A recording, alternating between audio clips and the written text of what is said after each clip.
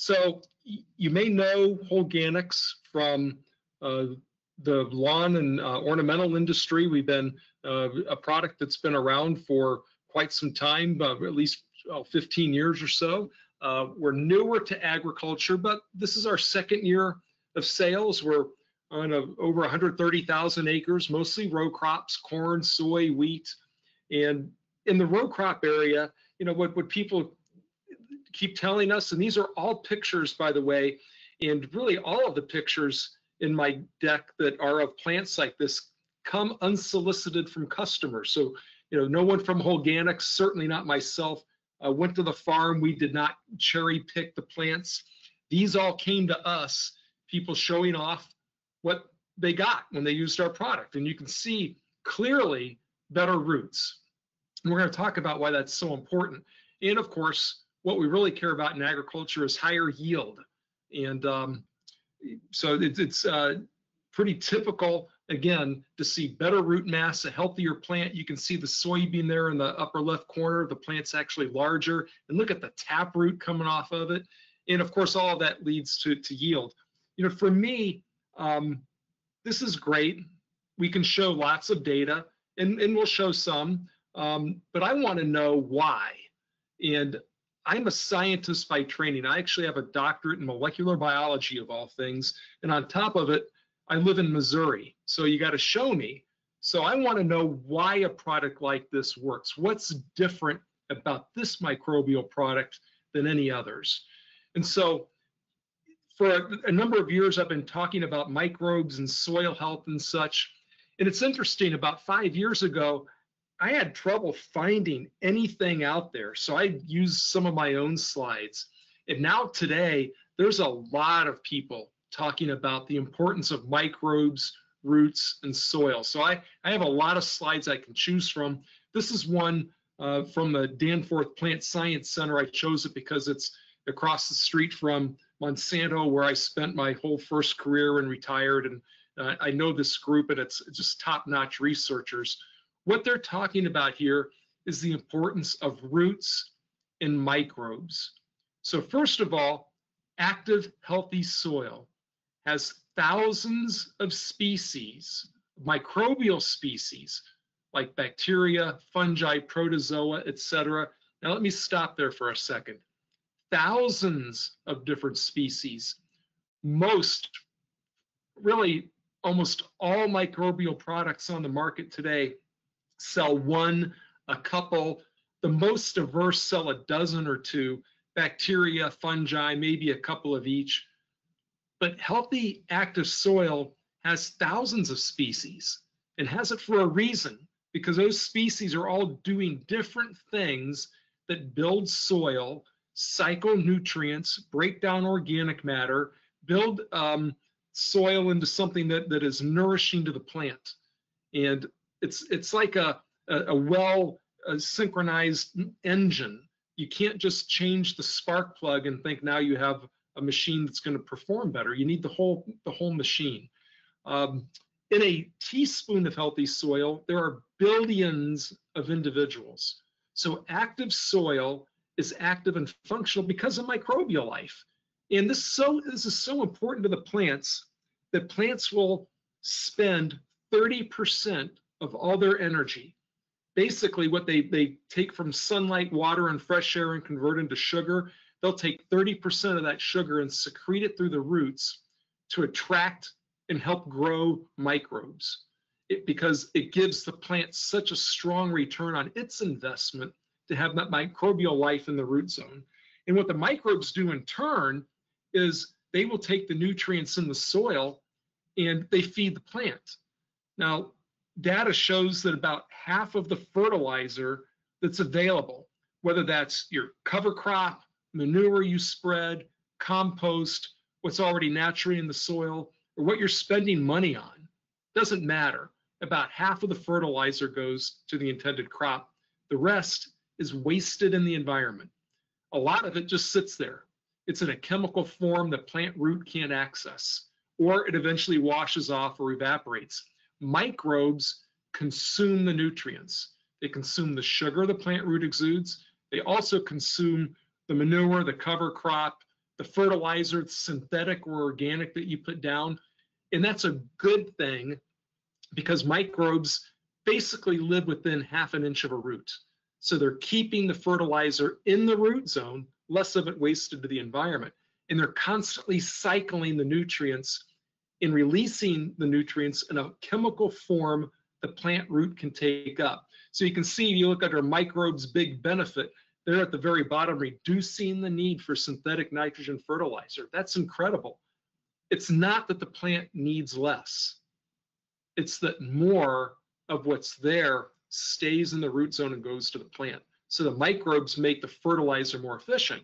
They also help fend off plant pests and disease. Like I said, cycle nutrients help protect the plant from environmental stress.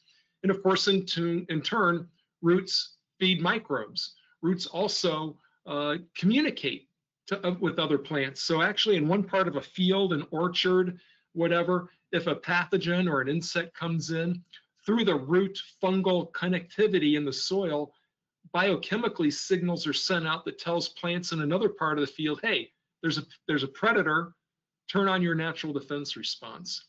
So all of this in a healthy soil is actually incredibly dynamic.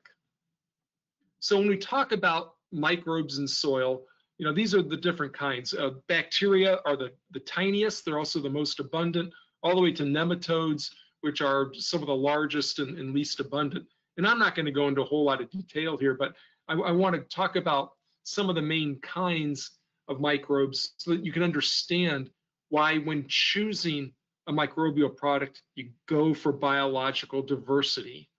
So first of all, bacteria, probably the most important. They're the workhorses. They do a lot of um, breaking down organic matter a process called mineralization. It's a it's kind of a weird word that says, look, there's nutrients locked up in the soil, in your cover crop, in last year's crop debris, whatever. They're totally inaccessible to next year's crop unless a microbe breaks it down to its basic chemical form a plant root can take up. That's mineralization. So bacteria are really good mineralizers. They also solubilize which means taking in a form the plant root can't access and now making it available, changing its chemical form, many minerals like uh, phosphorus, potassium, iron, etc. So bacteria are really important. And we can see, because here I go to that, okay, I'm from Missouri, show me examples of when the microbes uh, in the soil are out of whack, out of balance. So the top picture, fallow corn syndrome, low phosphorus. Now, first of all, if you do a soil test and you look for phosphorus, most soils have plenty of phosphorus, total phosphorus. But if you look at the important little part of that, available phosphorus, that tends to be much, much smaller. And that's the problem here. There's probably plenty of phosphorus in that soil. But what could have happened, for example, microbes need air. And if this ground was flooded, well, after about 48 hours underwater, the microbes that need air, and those are the all the beneficial ones, are going to start to die off. So there could be plenty of phosphorus there, but there's no microbes to turn that total phosphorus into available phosphorus. So it looks like the plant is deficient, and it is, even though there's plenty of phosphorus just in the wrong form in that ground. Now on the right, yellow corn syndrome is low nitrogen. Now, this can be caused by a number of things, but one that can happen is it's when the bacteria diversity or the, the microbial diversity is out of whack. So corn farmers are putting down nitrogen, no doubt about it. There, there could even be plenty of nitrogen in that soil if they do a soil test. But tilling ground with fertilizer and too many bacteria are going to make those bacteria bloom and bacteria grow incredibly fast. Bacteria also have a very high nitrogen requirement. So they're, they're hogs. So they tie up the nitrogen and they keep it away from the plant until the other microbes can come in that feed on bacteria and can help release it. So this is an example of why you really need the biodiversity. Putting just bacteria down is not a good thing because we need the, the other uh, predators of bacteria to keep things cycling.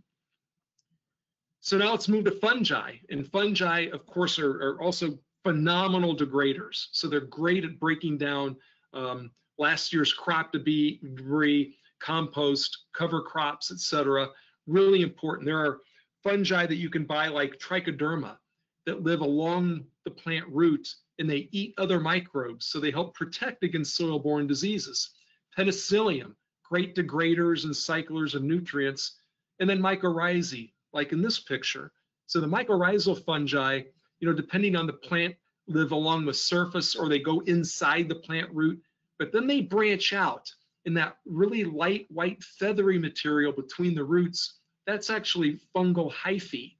And the fungal hyphae are smaller than the tiniest plant root hair, which means the fungus can get between soil particles the plant can't access. So the fungus can find water and nutrients, which it will feed to the plant in exchange for sugars that the plant feeds the fungus. Fungi also help keep the bacteria in check because they, they eat bacteria. Now here's some proof of, of fungi, they really do break down organic matter and release nutrients. Now, this particular uh, uh, piece of proof, this is called fairy ring. Uh, this is a golf club that's not far from where I live. Fairy ring is actually a disease, so I'm not promoting the fairy ring fungus or putting diseases out, but it makes my point. The fungus starts in the center, and as the fun fungus spreads in a circle, the leading edge is breaking down thatch, dead roots, grass clippings, and it's releasing those nutrients, especially nitrogen to the grass. So you're getting that greening effect because there's more nutrients. So again, we can see, you know, fungi actually do break down organic matter and help feed the plant. Now, last we'll talk about protozoa and nematodes. So by the way, uh, you know, nematodes in the lower right corner, some are bad because they'll they'll eat your plant roots and they're they're plant pathogens, but others actually are not. They eat other nematodes. They'll also eat insect eggs and bacteria and such. They're actually beneficial, and some growers will spend money on those nematodes and add them to their soil. Um, the protozoa, amoeba, and such, uh, like the, the large cell in the middle of this picture, the bacteria are all those little dots all around it. So you can see much larger than bacteria. And they're back, like fungi, they eat bacteria. And they're important because like fungi, remember, bacteria love nitrogen. Fungi and protozoa have a much, much lower nitrogen requirement. So God designed this so that when the bacteria start to grow on the nutrients in the soil, those nutrients are now released by what eats the bacteria because too much nitrogen is toxic to them. And so protozoa, as the bacteria grow on the nutrients in the soil, are constantly spitting out nitrogen and they spit out ammonia and nitrate. What are the two forms of nitrogen your plant root likes to take up the best? Ammonia and nitrate. So the cycle's complete. So biodiversity is what makes soil work. And you know look at evidence. This is the olympic national forest.